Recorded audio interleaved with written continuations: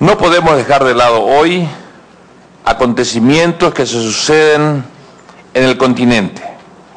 Hoy, dos pueblos hermanos, dos estados miembros de UNASUR, Colombia y Venezuela,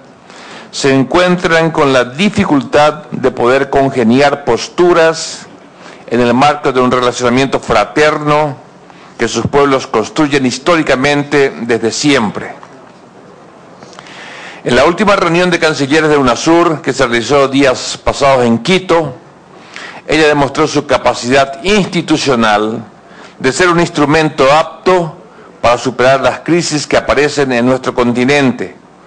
acercando posiciones en un marco de un diálogo sereno, maduro y franco. Es sin lugar a dudas un espacio referencial para la solución pacífica de los diferendos, acorde con las disposiciones de la Carta de las Naciones Unidas y de nuestro propio instrumento fundador.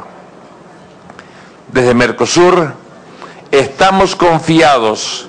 que la solución pacífica, plena y duradera de las controversias entre estos gobiernos hermanos es solo una cuestión de tiempo,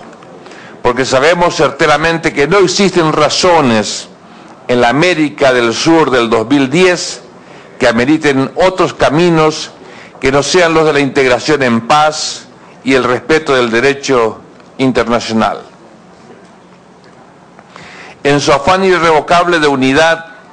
solidaridad y desarrollo soberano, América del Sur ha transformado la lógica del relacionamiento entre sus pueblos y gobiernos. Es un nuevo relacionamiento que escapa a la lógica de la dominación y de la subordinación. Es un proceso que se perfila y consolida en un nuevo marco internacional en el que el desarrollo sustentable de nuestros pueblos, la salvaguarda y la defensa de nuestros recursos naturales, de nuestros ecosistemas, de las riquezas que se encuentran en nuestra región y el acento en la cooperación sur-sur son elementos que hacen que la América Latina de hoy juegue un rol de primer nivel en las relaciones internacionales y en las instancias internacionales. Los vientos de guerra ya no soplan ni soplarán esta región, aunque intenten enarbolar falsas consignas en base a intereses que nada tienen que ver con el deseo de los pueblos de convivir en armonía, construyendo y profundizando su integración en paz para el desarrollo de la nación latinoamericana en su conjunto. Venimos de un encuentro con el presidente Lula en mi país, en la ciudad de Villa Ayes, en donde dimos la palabra inicial a un proyecto de carácter fundamental para el desarrollo paraguayo. Un proyecto que simboliza muchas cosas, un proyecto que plasma el espíritu integracionista de nuestros pueblos y lo hace en lo concreto, en obras. El compromiso del compañero Lula y su pueblo de apostar por la integración regional como camino de desarrollo y de Mercosur como canal de ejecución es una muestra de que solamente se puede lograr el avance de nuestros pueblos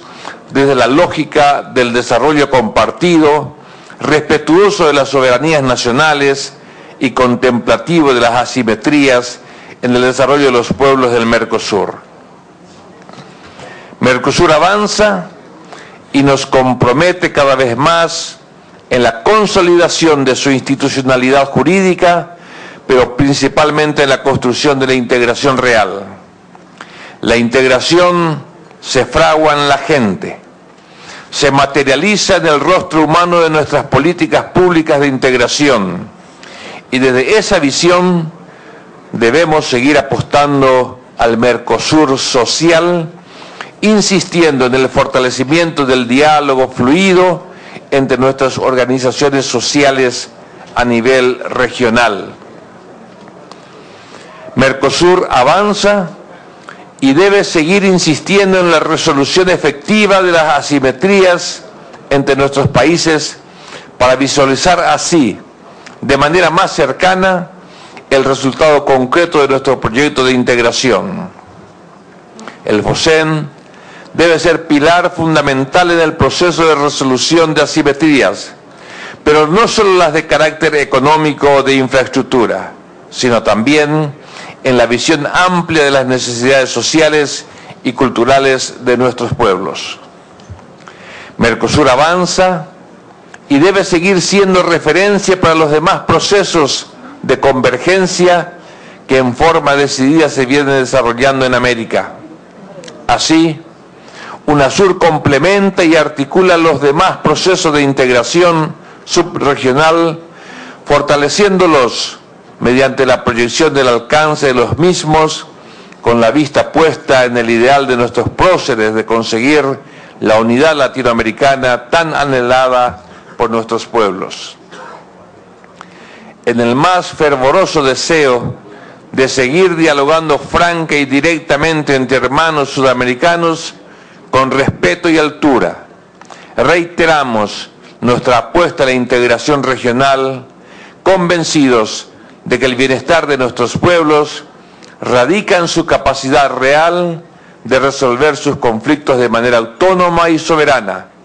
como ya lo hemos demostrado tanto en Mercosur como en UNASUR y como seguiremos demostrando ante cualquier amenaza que pretenda dar paso atrás en el proceso de unidad y desarrollo de los pueblos de América Latina.